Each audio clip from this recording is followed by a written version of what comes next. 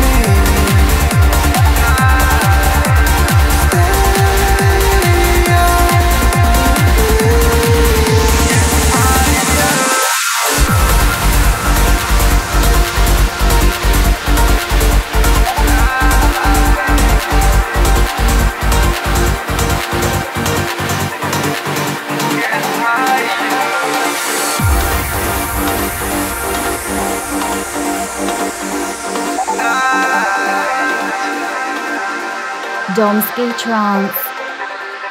And we can get higher.